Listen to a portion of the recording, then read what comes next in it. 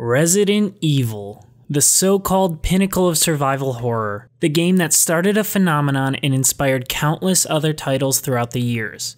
It's a beloved gaming franchise I never had the chance to delve into. I played through 4 in a noisy household where I couldn't focus on it, and Resident Evil 7 during a very anxious time of my life, which also left me struggling to focus. I think I enjoyed each one, but now that I'm much more settled in life, I want to revisit the franchise from the beginning, examining if it holds up in a modern light. To do so, I bought the 2002 remake of the first game on my PlayStation 4, reading that it's a pretty faithful recreation of the original experience. This video and its follow-up will spoil the entire game as I break down my thoughts across Jill's campaign. Another video will come shortly afterward where I analyze Chris's side of things, so let's get into it.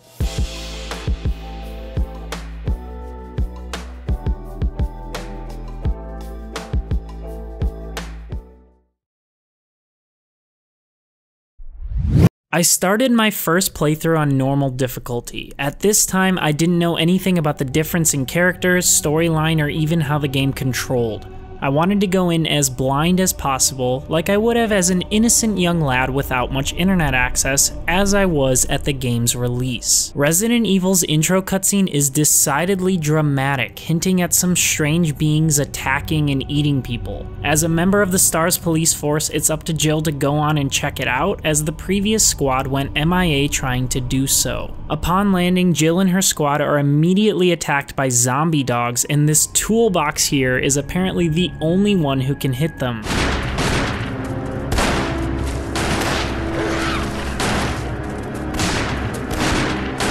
We ran away, of course. Wouldn't you if Chris, this way. was your line of defense? Everyone takes refuge inside a conveniently placed mansion that isn't Quite your ordinary house. that's for sure. Chris is missing, a bang is heard, and for some reason we separate to figure it out. Already, the game is hilariously cheesy and I love it. I haven't even touched the controller and Resident Evil has established a ridiculous world. Like, look at this clown. But we've got to find. What was that? Chris?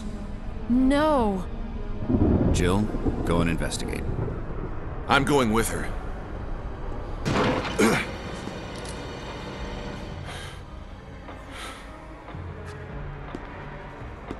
A dining room. I slowly move around the long dining room table to try and get used to these tank controls. We find some blood on the ground, and I head off on my own as Barry needs to examine the blood for some reason. See if you can find any other clues. I'll be examining this. The game gets right into things in the next room where a zombie is eating a former squad mate. This is shown in a disgusting cutscene before it cuts back to Jill in a moment's notice. Considering that I'm not even used to the controls yet, I struggle to sprint down the hallway and gun down the zombie from a distance. This MF takes 8 bullets before falling down and then has the audacity to get back up. I try stabbing him a couple of times to save ammo, he falls down but gets back up again and kills me in the process. Less than 5 minutes of gameplay and I'm already dead. This game couldn't give less of a crap about me and this is just the normal difficulty. But that's also a refreshing take. As the so-called pinnacle of survival horror, Resident Evil presents itself as just that. Contrary to most modern games, there's no tutorial. Hints and instructions are peppered throughout optional, easily missed documents. The game assists you at times, but mostly leaves you to your own devices. Even the difficulty levels are open to interpretation at first. I start the game again and head the other way down the hallway instead of face first into hell, but these doors are locked. The game funnels you into this scenario, so this time I just gun him down only to find a videotape near the body. Another zombie appears out of nowhere when I report back to Barry. Wesker disappears Wesker! and Barry suggests we split up. I don't know why everyone wants to split up already. It really seems like a terrible idea, but I guess being alone does put the horror in survival horror. Left on my own, exploring the mansion is absolutely terrifying. The game's static camera angles are unlike any modern horror games I've played. Titles like Outlast, Alien Isolation, Blair Witch, and even Resident Evil 7 are in first person. Having scares right in your face is a form of horror in its own right, but this game takes the camera control completely out of my hands. This is a tactic later replicated in games like Until Dawn, but that's a different take on it considering that's an adventure title without traditional combat. My control in that game is in the story choices, but it goes to show just how influential Resident Evil really was. This design choice combined with the mansion's linearity provide a controlled environment where Capcom can choose how it wants to scare me, though I'm given agency with weapons and movement. It's a tough balancing act, but one that's mostly handled with grace. I spend the next hour or so acclimating myself with the mansion, collecting things and double tapping dead bodies while adjusting to these tank controls. I do my best not to waste ammo, but this knife does nothing, man. I gotta shoot these guys. After some more exploring, I come across a death trap that activates when I take a key. There's no way around this without putting the key back, so I make a mental note to return here later. In my search for items, I come across a statue with a blue gem on it. I push it off a balcony and recover the gem while getting hurt in the process. Wounded, I search for healing items and cheese a zombie to death in the process. Along the way, I find a map of the area hidden on top of a statue. This stuff is awesome. Finding a map and slowly discovering my way around instead of being given the entire space ahead of time is a great way to reward the player for exploration.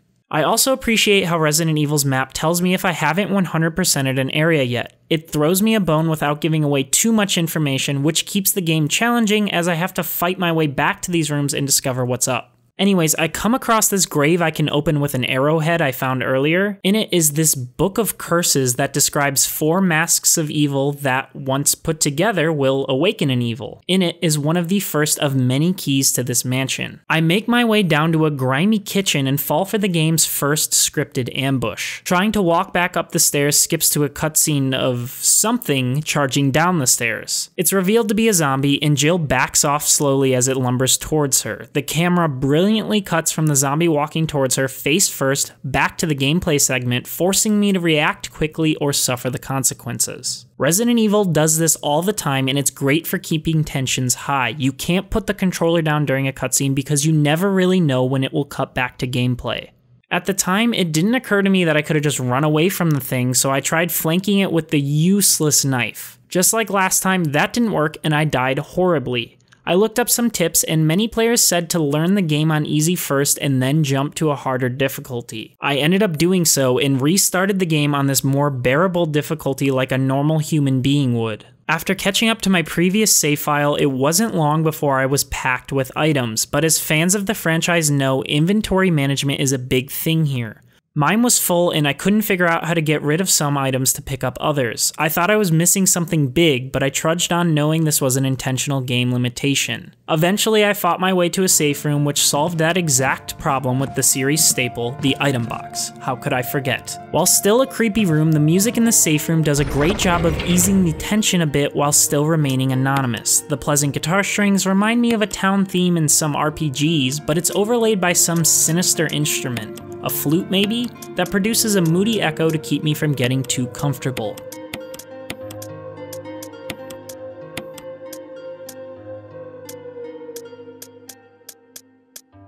The item box actually provides some heals, and I save my game for the first time in a while. You save the game by using a typewriter, but can only save so many times due to the limited ink ribbon item. Since I'm playing on easy, I figured the game would give me a fair share of ribbons, and it did. After a bit of exploring, I learned more about the game's dynamic levels thanks to zombie dogs busting through some windows in an area I've already explored. The fact that new monsters can appear in almost any room at seemingly any time made the game consistently tense, especially because this can change on repeat playthroughs as I learned in my second run. You never truly know what's going to be different. What quickly becomes becomes apparent is the mansion is a character in its own right and one that's much more interesting than any of the human ones. Every room is a puzzle. Some challenge you to fight or flee from meticulous place zombies, while others are puzzles of the more traditional fare. Some rooms combine the two, while a few serve as a form of respite and throw you a couple of items. That said, not all rooms are necessary. Some, like this lion puzzle room, provide nothing but some useful items. Those looking to speedrun the game or who are running low on inventory space are better off avoiding it. Part of mastering Resident Evil is knowing where the key items are and what order to get them in to get through the mansion with as little resistance as possible. After some more exploring and unlocking some doors with that key, I find my next hint, a note stating to use a dog whistle on the mansion's porch. Unsurprisingly, this sends a zombie dog after me, which I quickly dispose of to find the armor key, which unlocks another set of doors in the house. Well, sort of. This is actually a fake armor key, which I use to replace the real armor key to prevent being crushed by a trap. It's a neat little twist on the key gimmick and one that encourages the player to double check everything they come across in this mansion. That many things might be more than they appear. Heading back to the safe room, I come across a faster, more dangerous zombie than I've seen before. I later learn this is called the Crimson Head, and they're new to the HD remaster. They appear if I leave a zombie body on the ground for a little while. I have to use kerosene and a lighter to burn these bodies, which I learned thanks to a document in one of the safe rooms. But this takes up two inventory spots. So I can either deal with that or I can avoid killing zombies altogether. If I'm able to get a critical hit, a zombie's head will explode, which also prevents crimson heads, but this is a rare chance while playing as Jill. Point is, these things suck, and from them on, I seriously started to consider which zombies need to die and which I can just slip past. I find another room with a shotgun on the wall. Removing it traps me in there, so I replace it with a wooden shotgun found earlier, bringing the real one with me. Nice. This armor key alongside Jill's lockpick allow me to enter a new set of rooms, one of which I find Barry in. Jill. Barry, I didn't mean to get you that excited. Right. Anyway, you should read this.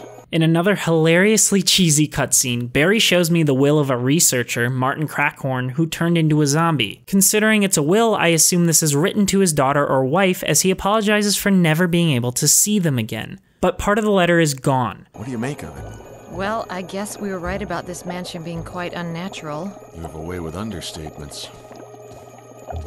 Where's the part that's torn off? Well, my only guess is that it was the most important part and somebody didn't want anyone to see it. Let's continue our investigation.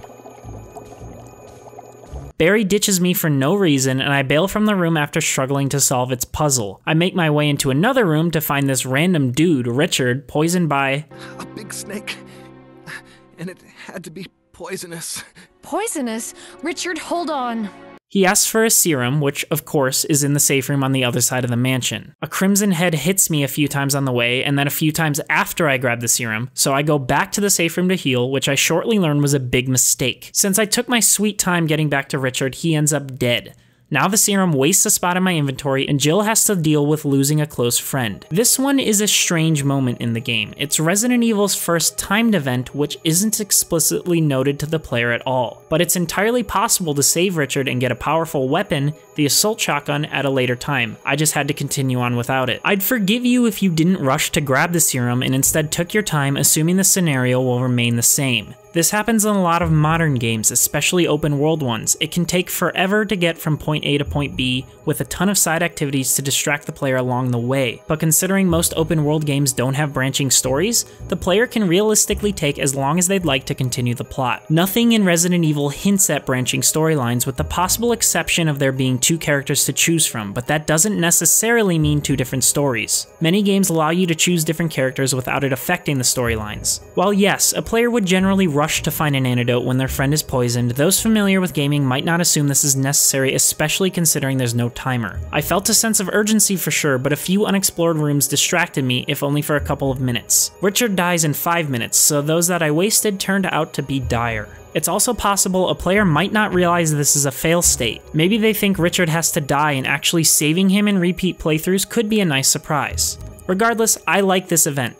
It comes completely out of nowhere and can really mess with an ill prepped player. Maybe they're low on health searching for green herbs. What if they're still not used to the combat? If they've avoided killing zombies, they'll have a much harder time getting the serum in back. The scene with Richard ramps up the tension and tests both a player's combat skills and their navigational skills. But you know what isn't a timed event? Your ability to click the subscribe button. So if you haven't, be sure to click that button down below and don't forget the bell as well to get notifications for all of my new content. You do want my thoughts on the rest of the franchise, right? Now that you've subscribed, I make my way to the next set of rooms and come pretty close to death on the way. I don't have the damn lighter, so I can't do anything in this kitchen, so I get ambushed by a hidden zombie and bail back to the safe room. More zombies break in through cleared hallways as I rush back to the safe room. I actually screamed out loud at this. I struggle to open a first aid kit I found since it doesn't open at the latch for some reason. I'll get more into that later, but right now Jill is hurt and needs heals and I don't have any. I do remember some herbs in a relatively safe space above the safe room and get her back to full health. This limited inventory space really adds to the survival aspect. I have to memorize where things are to come back to them later. Jill is not an RPG character that can just carry everything she comes across. She's in a desperate struggle to survive, and that's communicated to the player through gameplay very well. I make my way to a puzzle room that requires me to push sets of armor back into place in a certain order. Games have puzzles like these all of the time, so it wasn't too difficult to discover the pattern. This piece pushes that one back into place, while this one triggers another one to come forward. It's typical stuff, and it fits the theme of the mansion just fine. I'm rewarded with a jewelry box and provided a death mask. This probably goes in that underground grave from earlier, but that's just a guess. I open some more armor key doors and find another outdoor balcony. Out here is a dead STARS soldier with a freaking grenade launcher. I'll take it. Past him are some heals, and of course he comes alive to ambush me, but I'm not stupid, I'm not wasting the grenade launcher here. I boom the former man down with a shotgun and bail. I grab the lighter from the item box and find a music sheet in that kitchen. This should combine with a previous sheet I found in a room with a piano. The sheets combine, but for some reason I thought I needed a third sheet, so I leave it be and prep to handle the bug puzzle from before, bringing with new items this time. I'm dumb and eventually realize I could solve this entire puzzle with the items provided in the room. I need to put the bee hook by the fishing lures and the traditional bee specimen by the other specimens. This makes the bee come alive, so there's zombie bees too. I'm thankful the remake has auto aim though, so I could kick this bee's ass and grab a wind crest on my way out, but not without a double tap for good measure.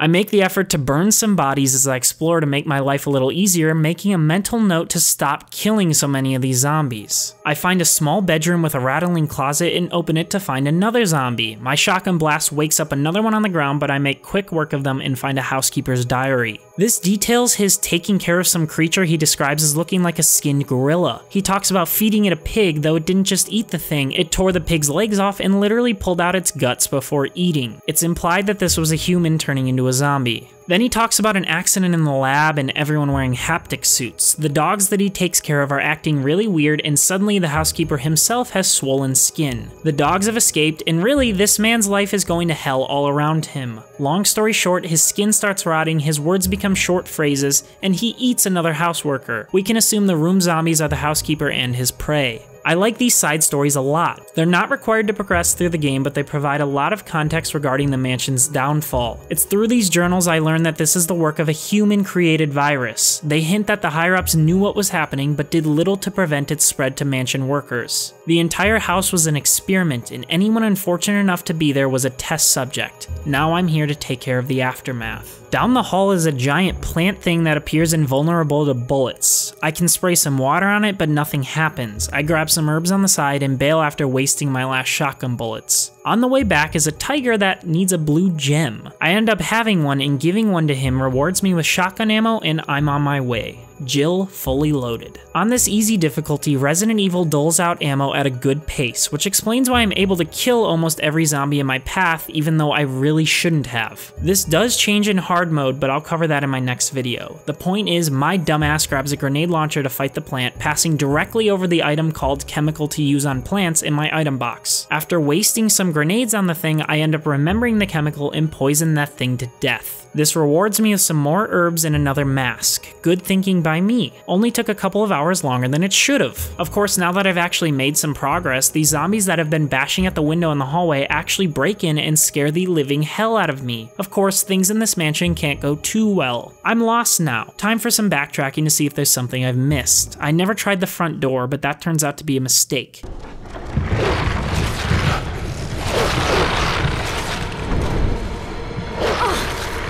It's a good trick here by Capcom. I find a new room with colored paintings that correlate to a main painting at the end of the hallway. There are also some obnoxiously loud ravens in here. I have to adjust my volume every time these things make an appearance in the game.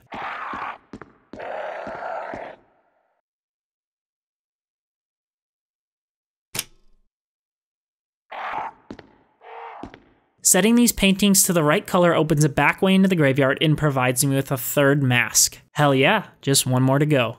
I remember the music sheet and realized that when I combined the two earlier, the item was actually complete, so I head to the piano room and Jill actually starts playing the piece.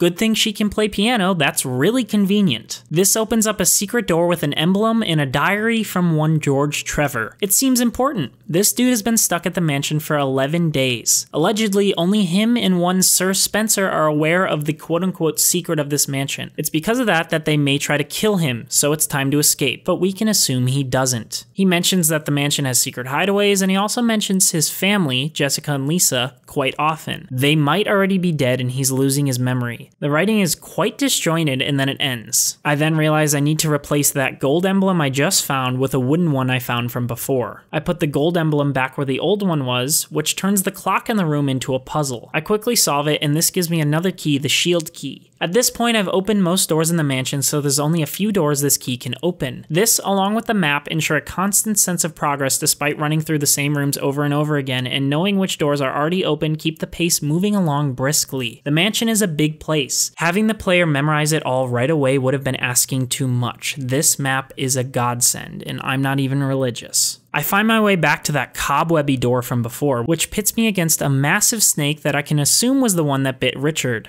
I screeched and used all of my incendiary grenades to try and kill it. I also find the final death mask in the corner, so I grab that and bail as I was running out of ammo. Apparently, Jill was poisoned and passes out, but someone saves her and we wake up in the far safe room. Jill calls out for Barry, Barry? but no one's there. Creepy. I get the sense that everyone knows a bit more than Jill about what's going on here. Anyways, I say screw the snake and bring all four masks to the grave pit. A giant coffin falls and out comes a Crimson Head boss. The camera remains static with a wide view of the room, making this boss fight really difficult. It's an interesting challenge considering most Crimson Head enemies have been in areas I'm familiar with so I can manipulate the situation. This one forces me to fight at an awkward angle and I only had pistol ammo to fight back. It killed me multiple times and this is the first real scenario where I've been punished for using most of my ammo. The pistol hardly stuns this dude and I need to angle and hit a ton of shots while also trying to avoid his quick attacks. This is difficult with the tank controls as I had no other guns to use on him since my shotgun was out of ammo. There is some ammo in the grave pit there, but every time I try grabbing it, he attacks me. So after a couple of deaths, I end up backtracking throughout the mansion to see if I missed any ammo. I end up finding nothing after about a half hour of searching, so that's it. I need to grab the ammo in that pit. I let the creature grab me by the door so he's stunned for a second and make my way over to the ammo first try. I blow him down and find a stone and metal object in his coffin. This is a well placed boss fight for a variety of reasons. It's the first time Resident Evil locks the player in a room with an enemy, but it does so with a familiar one, assuming this is a remake. The Crimson Head paces the tension up a bit, but not too much, especially considering the player may or may not have already fought the snake to death. There's no escaping, but at this point one should understand the game's movement enough to juke the guy. It showed that I needed to take more risks in combat, so I adjusted my playstyle after finally winning. As for that stone and metal object, I know of a few places this might fit. Naturally, I try this big set of doors in the main foyer, but I'm missing a second object to open them. One of the only things left is that snake, so I fight him till he escapes an event, beating him with my last bullet. Turns out there's nothing else in here but some shotgun shells, so it was a wasted effort. At least I got a trophy. After a lot more searching, I come across an outdoor area from earlier.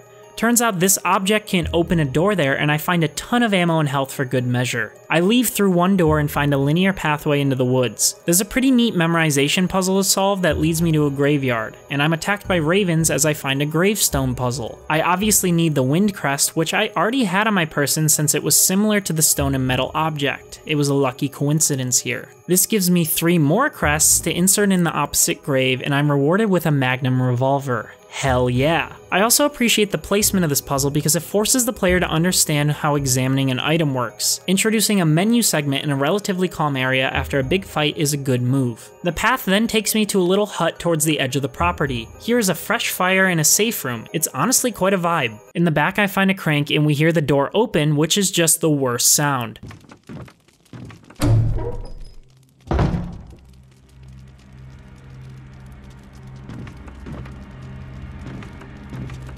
Jill gets conked by some Two Face knockoff and wakes up a few feet away from the thing that just knocked her out. Why the hell did it knock me out just to leave me there and then chase me when I wake up? I take it out with the shotgun only for it to stand up again and again. God, I waste so much ammo in this playthrough in hindsight. Next to the typewriter is a journal with screwed up text that reads awful stuff like daddy attacked first or mommy isn't moving, then she's screaming. Yeah, it's safe to say Resident Evil is an appropriate title for this game. The game doesn't let me save since there's a psycho creature in there, so I yeet the hell out of there back to the original room, this time going through the other door. Here there's a strange blue herb and three dogs to take on. It's also here where I find out the Magnum is a beast since it kills each dog in one hit. The crank that I found earlier then lowers a dam into the next area and I sneak across to find an elevator. The elevator takes me to a new area with a waterfall, some more annoying crows, and another gate. I can't run through the waterfall, so I head through that gate to be chased by goddamn ceiling snakes. This path leads to a side residence far from the mansion itself. Resident Evil loves to leave little hints to foreshadow what's next, and these blue herbs lead me to believe a ton of poisonous enemies are in my future, as I've seen this discussed online before. A giant tentacle attacks me from a hole in the ground, making me screech in real life. Fortunately, I can push this box over the hole to get around it. I walk through a hallway and overhear Barry yelling about destroying stars in the next room and something about his family. But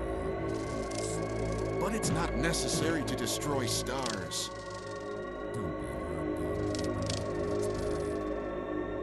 What about my family?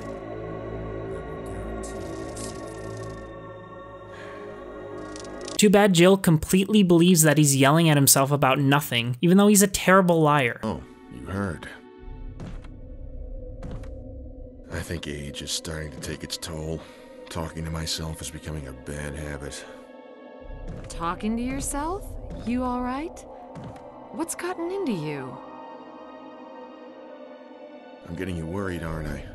And then he bails again. I find a letter about some Plant 42, essentially a giant plant mutated by whatever virus is going around. That can probably explain what grabbed me earlier. There's a secret room behind some bookshelves. This is probably where the person talking to Barry ran off to. One boring box pushing segment later, I find myself in a flooded room fighting off sharks with that magnum. I admire Jill's ability to remain completely stoic during all of this. One room is full of what I can assume to be Plant 42 tentacles based on the document in there. Mm. That ain't it, Chief. The next door is locked and the music starts really picking up, which urges me to rush the hell out of there.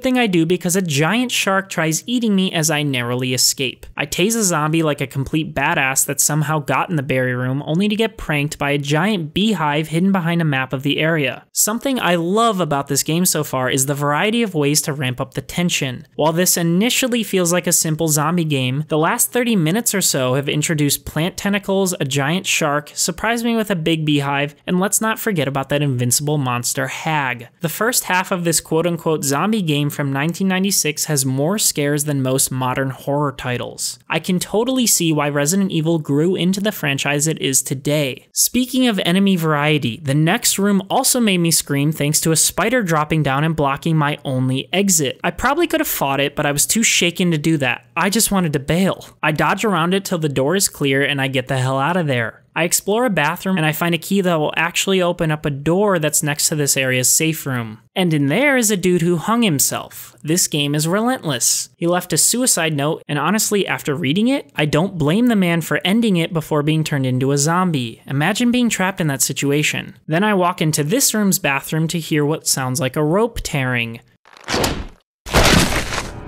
Turns out that dude is still alive. He didn't even get to avoid being a zombie. What a fate, man. I grab a key from this bathroom and bail the hell out. This key is for a control room, which I'm pretty sure is in the flooded area with the sharks. This time, I wreck those MFs so I never have to face them again. The control room puts me on the same level as the massive shark, which is only a little scary. Turns out whoever was here before failed to drain the water. The shark picks up on me trying to do the same and smashes the glass to try and stop me. Emergency. Unknown source of pressure detected. Locking all doors to achieve maximum safety. I'm put in a timed puzzle, rushing to lower the pressure to fix the drain situation. Fortunately, a document in this room tells me exactly how to do that, so I finish up pretty quickly, and that shark is finished. Also, I finally figure out how to open that first aid kit. You have to examine it at the top, but not at the latch for some reason. I'm not sure why that is. Anyways, I make my way to that giant shark's carcass and try to grab an item only for it to flop up and knock that item over.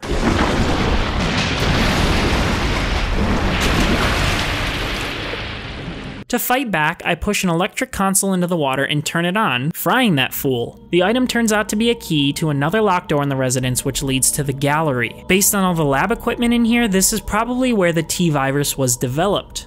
Creepy. I conveniently find some insecticide I know I can use against that beehive. There's also a keypad that resembles these lamps from back in the spider room. I show these bees what's up to find another key which opens another door within the gallery. How did anyone get around this place? Did they just have dozens of copies of these keys to hand out? Anyways, this room contains more plant roots which show the thing has really spread throughout the mansion. I've seen it in like five places now. There's also a recipe for something called V-Jolt, a chemical that should destroy the plant once I'm to come across it. But before that, it's time to clear out the spider room. I'm not taking any chances. It's time to blow these MFs up with a nade launcher. I do so, and then its death liquid poisons me, which is just fantastic. This room has three colored lamps with a different type of eye under each. These are similar to the eyes on that keypad, so I take a screenshot of each thanks to the PlayStation 4 screenshot function. I also find a red book that definitely fits in that bookshelf from earlier. Upstairs is a strangely important pool table that I also take a screenshot of. Resident Evil places too much emphasis on these things for them not to be important. Another case of it respecting my time like with the map. There's also a spider on the right that I noticed way too late, but it actually never ends up attacking me, so I leave him be. I place the red book alongside the rest and must rearrange them into a portrait of a naked lady lying down. I tried googling to find some sort of significance to this image, but I didn't find anything. Anyways, I order them properly and a secret door appears behind the other bookshelf. It seems important and that it will progress the plot, so I bail out to check out the keypad first. As I mentioned earlier, the keypad has eyes that correlate with the lamps from the spider room. Each color correlates to the numbered pool ball of the same tint. For example, the green pool ball is 6, so I need to press 6 on the green keypad. Here, there's containers and colors and things that directly relate to a document that describes the Plant 42 monster. That document provides a list of colors to mix that result in the V-Jolt formula that should kill the plant. I struggle with mixing these colors for a bit and decide to bail and check out that other door anyways, thinking I might not have everything to make the V-Jolt. If you've played this game already, you know this was a big mistake on my part considering the next room has that massive plant monster in it.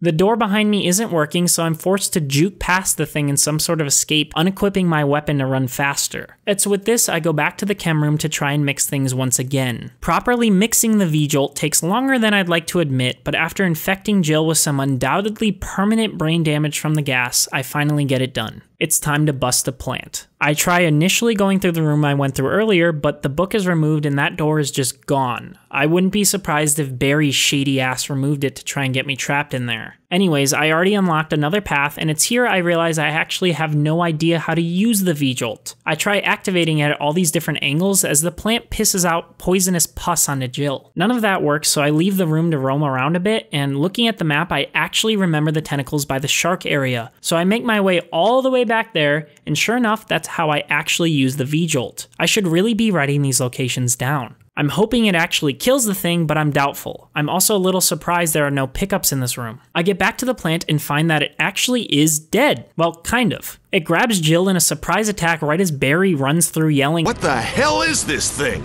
despite having a freaking flamethrower in his hands, which really makes me think he was prepared for this or something. Barry roasts the thing. Ah!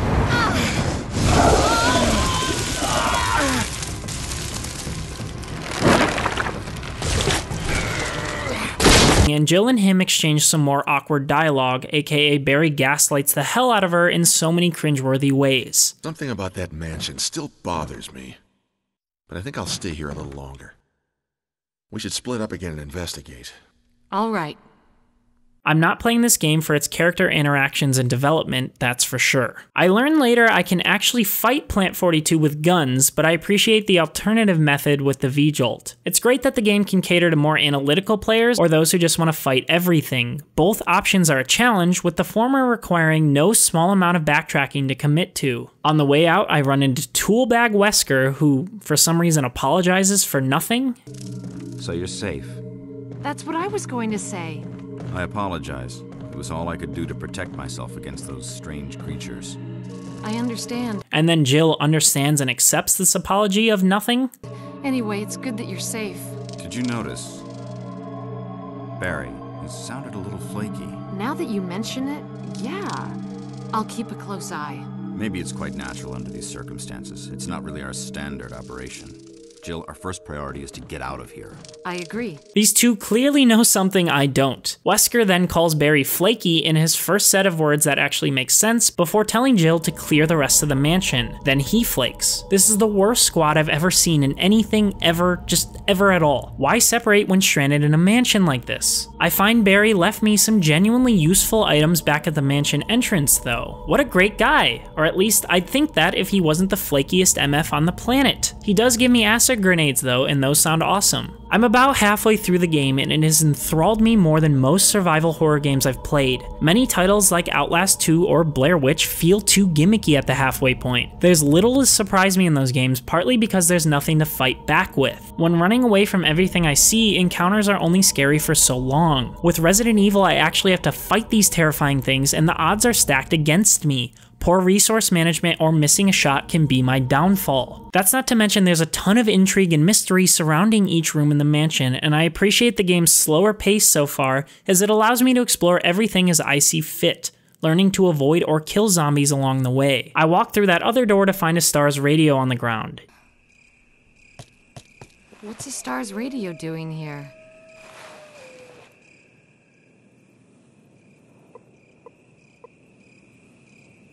Let's hope the thing still works. Inconsequential for now, but I take the stone object as I leave. You know, you gotta keep that thing on ya. Suddenly, a cutscene breaks my flow, showing a first person view of some monster charging directly through the path in which I just came. It then breaks through the door in which I have the actual item required to open, which makes me feel pretty useless in comparison. The game cuts back to me being chased by a giant lizard, and I panic trying to open the closest door in a futile escape attempt. The thing whacks Jill with a crazy aerial attack before I'm ambushed by another one on the way to the safe room. Capcom totally knew players would book it right there and made the deliberate effort to screw them over on a first playthrough. It almost worked on me, but I was able to escape just in time. I'm halfway through and tensions are as high as ever. I make an emergency save and heal pit stop before bailing up the stairs to get a good angle on this monster.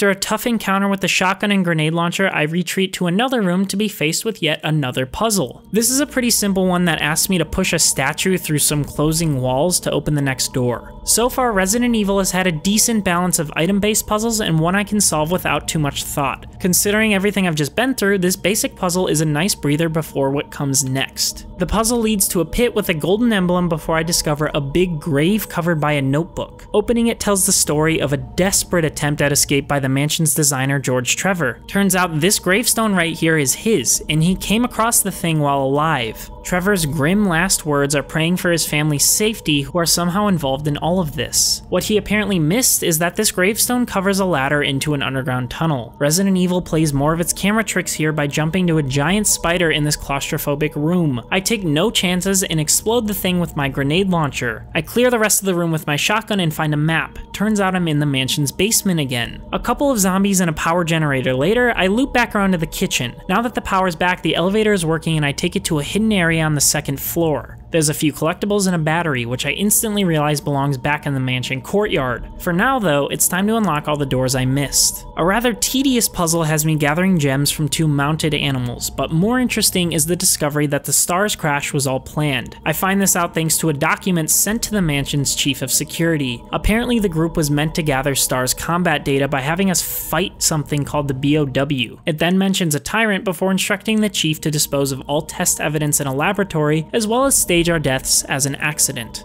It's signed by one Umbrella headquarters, which I already know from Resident Evil 4 to be the main antagonist group of the franchise. The game has hinted at a setup various times already, so this didn't come as too much of a surprise. What I do wonder though is how much Barry and that tool are involved. Some exploring leads me to a gallery next to the main foyer. In here are some preserved organs for some reason, as well as a handwritten note that describes some room hidden behind a painting. Mysterious. Down the hall is a mirrored room that plays the camera against me and another zombie. A neat gimmick that's only used once, as far as I remember. I like that even this far in the game, Resident Evil makes each zombie encounter a deliberate one. This isn't Left 4 Dead where I just blow through monsters left and right with no thought about it. Here, each fight is a thought-provoking decision. I can spend my ammo or leave the creature be, but it will remain a threat the rest of the game if I do so. But we'll have to wait for the next video to go more into that. If you couldn't tell so far, I'm absolutely loving my time with this game. The story is cheesy and frustrating from a cutscene perspective, but collectibles and other hints do a fantastic job building the game's world. Resident Evil also scares me more than Outlast or other more modern titles, which is a testament to the game's timeless design and that damn camera angle. Anyways, thanks for watching this far in. Let me know your memories of the game in the comments below, and don't forget to subscribe and click that bell icon to be instantly notified for part 2 of this series. I'll see you guys in the next one.